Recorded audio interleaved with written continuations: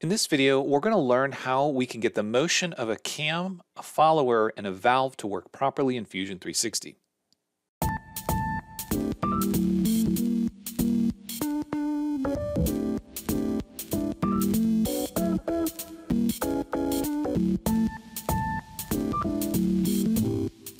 Hey everyone, this is Matt with Learn Everything About Design, and I wanted to do a follow-up video to my recent tangent relationship video.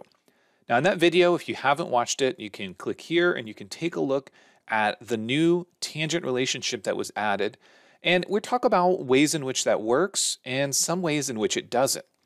Now in the example of the cam, the follower or rocker arm, and the valve, we saw that we could apply that tangent relationship and we could get a couple of pieces of this puzzle to work, but it kind of got to a situation where it was mechanically locked. And the same thing happened when we tried to use contact sets. So what I want to do in this case is I want to talk about a way in which we can get pretty close to getting the results we need. So the first thing to note is you can download this data set from the description in the video if you want to follow along. We have a cam, a follower or a rocker arm, and we have a valve. Now, all of these are created and they're using relationships based on a sketch that allows us to rotate and use a slide. So that way all the motion is correct. The thing to consider here is that we need to create a tangent relationship between the cam and the follower or the rocker arm. So we're going to go to Assemble, Tangent Relationship, and we're going to go between the rocker arm and we're going to go between our cam lobe. Now, if you followed along the last video, you'll know that it's automatically looking at tangency between the surrounding faces. So if you've drawn this with tangency, then it should work fine.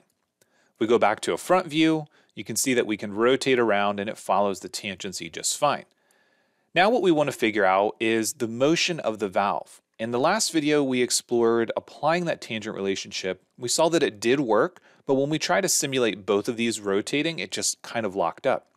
We also looked at applying contact sets, and while contact sets in general will work with the rest position, it doesn't give us the motion because again, it becomes mechanically locked and it's having a hard time solving it. So the way that we can get around this is by using assemble and motion links. We need to create a relationship between the rotation of this and the position of the valve.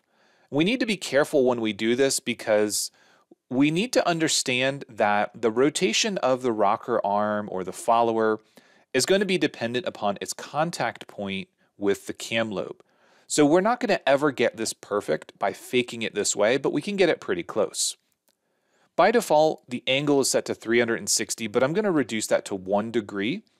And I've got my distance right now set at 0.02, which should be pretty close. It's not going to be ideal. We can actually try to reduce this and see if it works a little bit better or we can increase it to 0.03 and see if we get a little bit closer. Once we're happy with these results, I'm going to go 1 degree and 0.03 distance and say OK. Now, as we rotate the cam around, you can see that the valve does move in and out as the rocker arm or the follower rotates. But once again, it's important to note that the distance between the contact point between the rocker arm and the, the cam lobe in this case to the pivot point, and that distance between there to the point of contact with the valve is constantly changing. So in this situation, when we're completely vertical, you can see that the contact point is right here at about 10 degrees. Now, as we rotate around and we get down to this flat section, you can see the contact point is here, and then it moves over to this position when we're on the larger diameter. So as we do that, and as we rotate up here, the contact is now up here, and each time we hit a different position on the cam lobe, what ends up happening is we are now moving a, a, different amount. The leverage is different between the cam rotating and the valve moving. But this is one way in which we can get a fairly decent animation or we can get the mechanical motion to be pretty close to accurate. There are some differences. And if you're trying to make this just for animation purposes, Playing around with the point of rotation here can get you a little bit closer, the angle of the valve and so on. But this is going to be the best way as of right now that we can get this type of motion to work. So if you have any questions, if you're trying to do this on your own and you struggle, then please let me know. Either leave a comment in the video or send me an email, support at caducator.com. And again, the intention here is not necessarily to point out problems with tangent relationship, but to really understand the limits of it and understand what we can do to get around that when we need to. As always, thanks for watching, and we'll see you in the next one. Thank you.